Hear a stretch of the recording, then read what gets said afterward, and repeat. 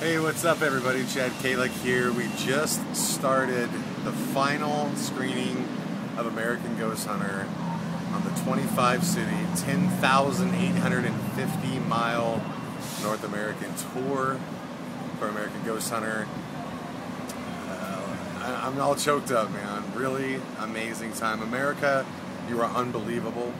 Uh, the support you've shown is incredible. Uh, just know that you're directly pushing this film and its message to the next level. I'm here in Austin, Texas. It's been an amazing night, an amazing crowd.